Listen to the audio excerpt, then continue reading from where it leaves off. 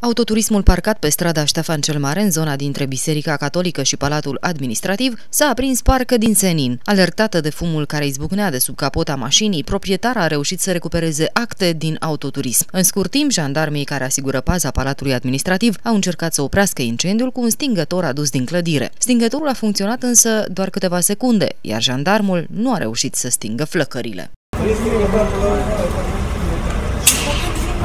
Până atunci, două stingătoare atunci... Nu mai veți mă agitată, agitată, agitată.